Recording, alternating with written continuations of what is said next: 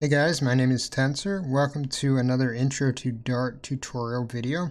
Today we're going to be talking about concurrency. This means asynchronous programming and parallel programming. And we're going to be looking at the different tools that Dart gives us in service of these types of programming. Back in the mid-2000s, hardware developers ran into a bit of an issue.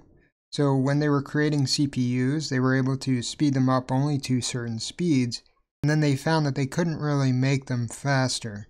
And so what they decided to do was start to add more CPUs onto the single board. So I'm sure that 99% of you who are listening to this video have a multi-core processor in whatever device you're using, whether it be your phone, your computer, or your tablet.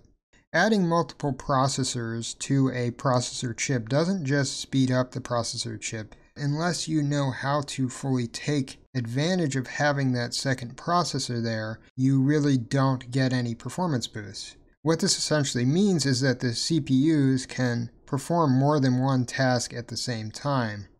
So first let's take a look at what's called asynchronous programming. Asynchronous programming is for when a result of a computation is passed back from an asynchronous task. This means that the task doesn't have a specified time frame for which it's going to end in.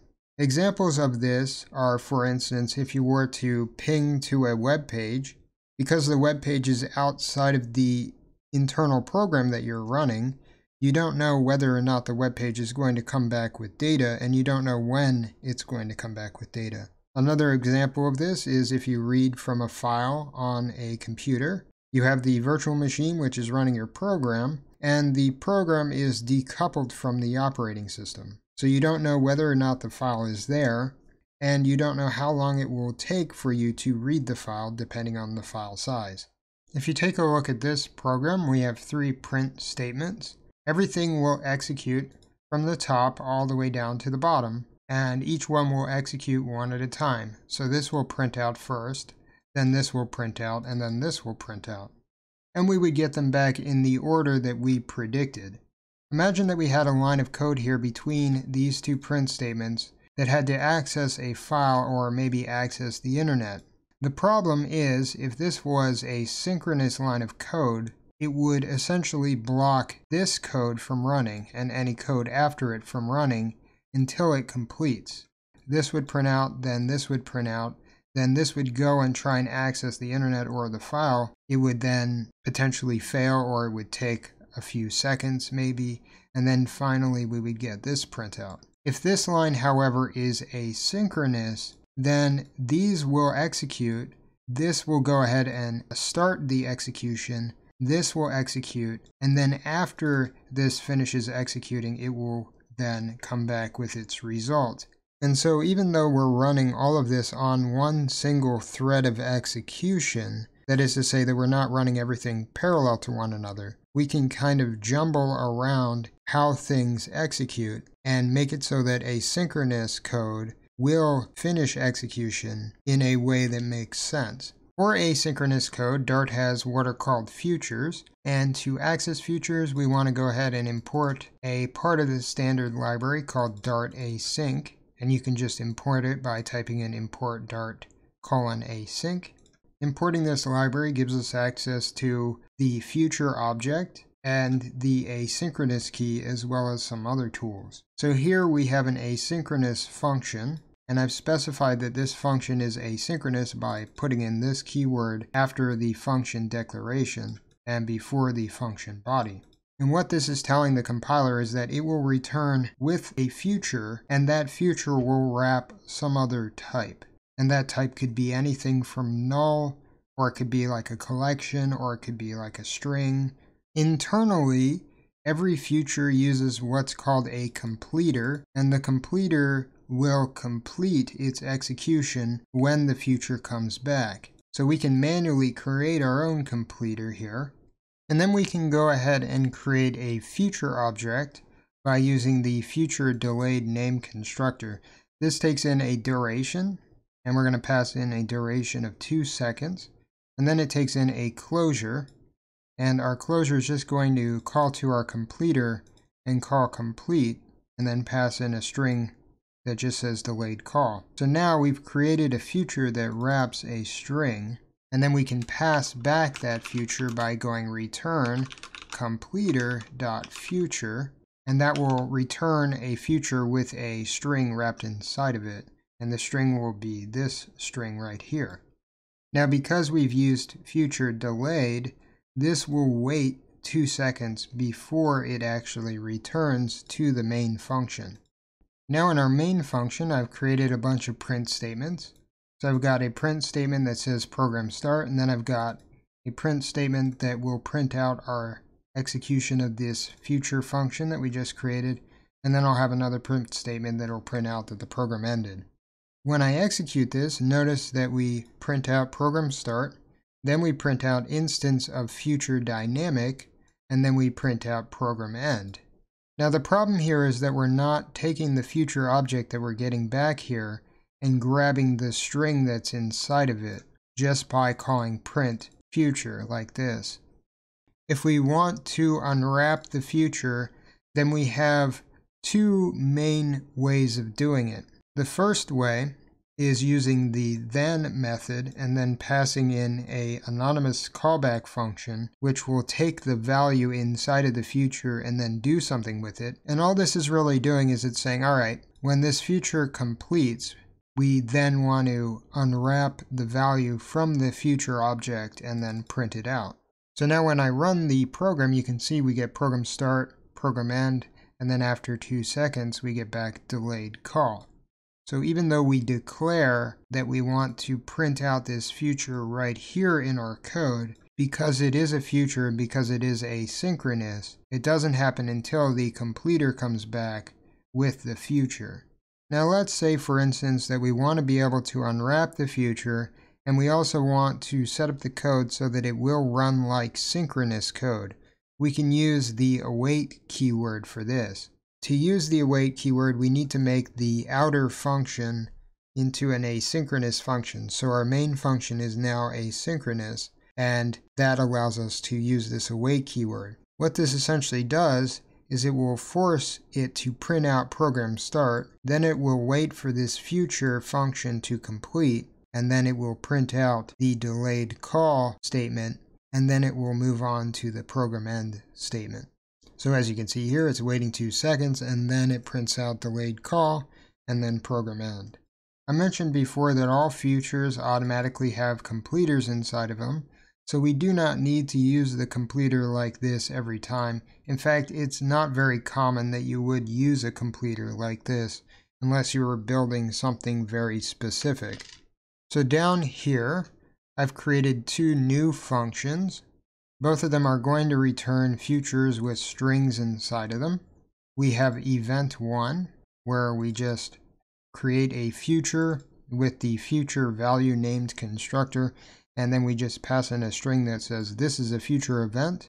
And then we have event 2, where again we use future value, and then we pass in another string that says this is another future event.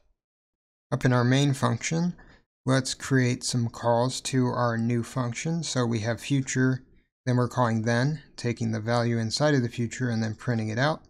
Then we have event 1 and event 2, and we're doing the same thing for both of these. And you'll see that none of these executions are guaranteed in order when we actually call our program. So here we get program start and then program end. Those are our two synchronous calls. Then we get back, this is a future event, which is event 1. And then this is another future event, which is event 2. And then finally, we get back the future call, which is the delayed call. To really understand what's going on here, we kind of need to look at the way that Dart executes things. When a Dart program starts its execution, it moves down two different queues. It tries to see if there's anything inside of these queues. It has what's called the microtask queue, and first it checks to see if that microtask exists. If there isn't one, then it'll move on to the event queue. And again, it'll check to see if there's an event in the event queue, and if there isn't one, then it will just end execution. The three functions that we're executing are all considered events. The event queue goes and it executes all of our asynchronous functions, and then it sends them back when they're complete. So if you notice when we ran our code here, event 1 happened before event 2 because there's no real delay here, but future happened after these two because future took 2 seconds to complete. As you saw in the graph, we also have what are called microtasks. Now I'm not really going to go into detail on microtasks, but suffice to say that you can schedule one by calling to a global level function inside of Dart called schedule microtask and then passing in a function. So here I'm calling schedule microtask and then we're just going to print out that this is a microtask. And the only thing you guys really need to keep in mind with regards to microtasks is that they take priority over events. And as you can see, we get program start, program end. This is a microtask, then this is a future event, this is another future event and then the delayed call. If we want to assure the order of execution, again, we can use the await keyword like I mentioned before, and this even applies if you have multiple futures. So here we have our future event, then we have event 1 and event 2. So future will finish execution before event 1 and event 2 finish execution. So again, always use the await keyword if you need to make asynchronous code act like synchronous code. Everything that we've executed up until now has been concurrent code, but what happens if we want to run things in parallel? I'll remind you that parallel code is code that runs on more than one processor, whereas concurrent code is just code that is potentially asynchronous that can run on multiple processors. With Dart, we have what are called isolates. In Dart, isolates are a bit like threads, except they don't share memory with one another. The best way to really think about isolates is to sort of think of them as though you're spawning multiple programs, and then you're having each of the programs talk to one another using messages. So it's almost like we have multiple main functions that are executing in parallel when we spawn a bunch of isolates. To gain access to isolates inside of Dart, we have to use the Dart isolate library, which we can import like we did with our Dart asynchronous library. We can spawn an isolate using a function called spawn, and this function takes in two parameters. The first one is a function that we want to spawn with the isolate, and then the second one is the object that we want to pass to that spawned function. So here we have a function that is called messenger, which takes in a string, and all it does is take that string and print it out. And then inside of our main function, we're spawning a new isolate using isolate spawn, passing in our messenger function, and then passing in the argument that we want to pass to this messenger function. So this will spawn and isolate and then execute this function with this as the message string that's being passed to it. Then afterwards we have a print statement that just prints out that this is from the main function. Now when running this short program, the from main print string may print before the this is from the isolate statement. And this sort of weakly proves that these two functions are running in parallel. Let's look at a more complex example of using isolates. So I'm going to create a function here called calculate pi. And what we're going to do is calculate the number for pi using a isolate outside of the main function. To communicate with isolates, we're going to need ports, and we're going to need what's called a send port to send to the isolate, and then a receive port to receive messages back from the isolate. So in this case, we're just going to send in our send port, and then the isolate will then be able to use it to send the messages back to main.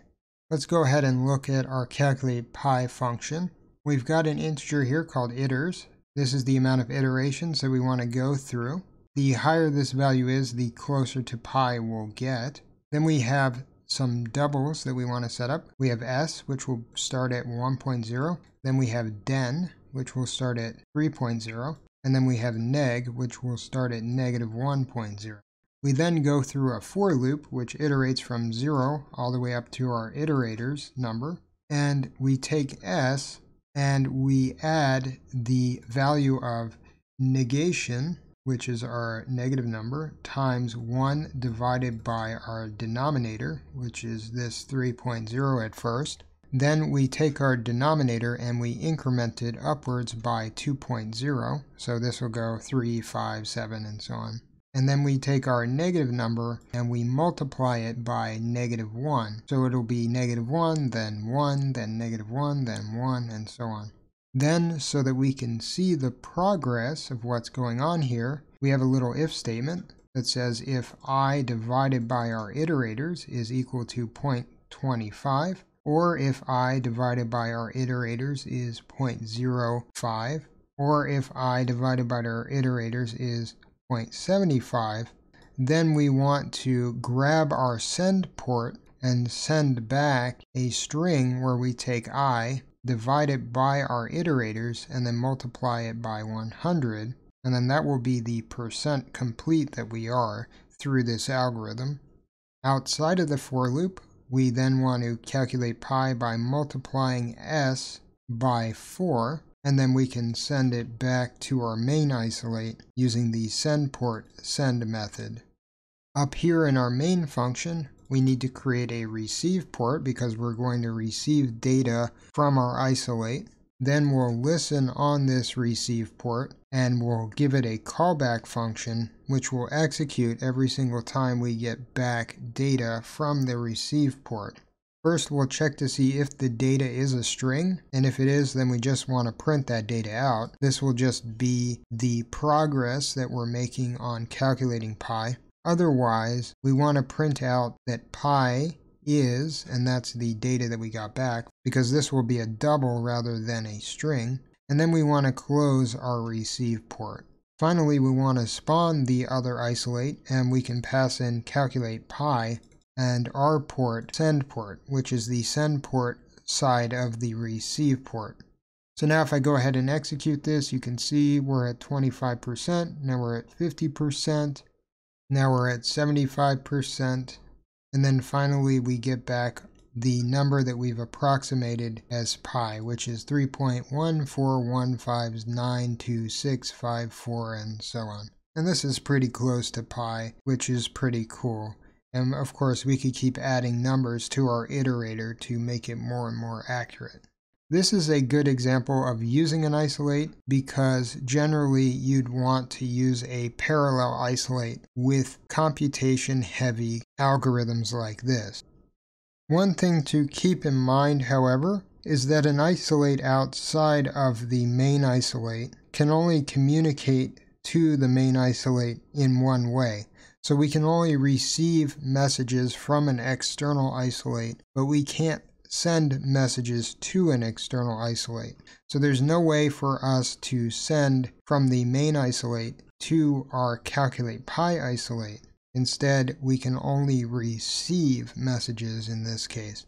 If we wanted to send data from main to our calculate pi, then instead of sending in a send port, we would send in a receive port object. But again, we wouldn't be able to get back any data from our calculate pi isolate and then use it inside a main later. Keep in mind that Dart itself is a single threaded programming language. It's single threaded in the sense that unless you spawn isolate objects, you are using a single thread and that thread is going through that execution loop that I showed you before. When you do spawn and isolate, you're spawning another instance or another thread that the computation can run through in parallel with the original single thread. Alright guys, well I hope you enjoyed this tutorial. Anyway, if you like this tutorial, feel free to subscribe and like. If you have any questions or comments, feel free to leave them in the box below. And if you dislike this tutorial, then by all means downvote it as much as you like. Have a good night.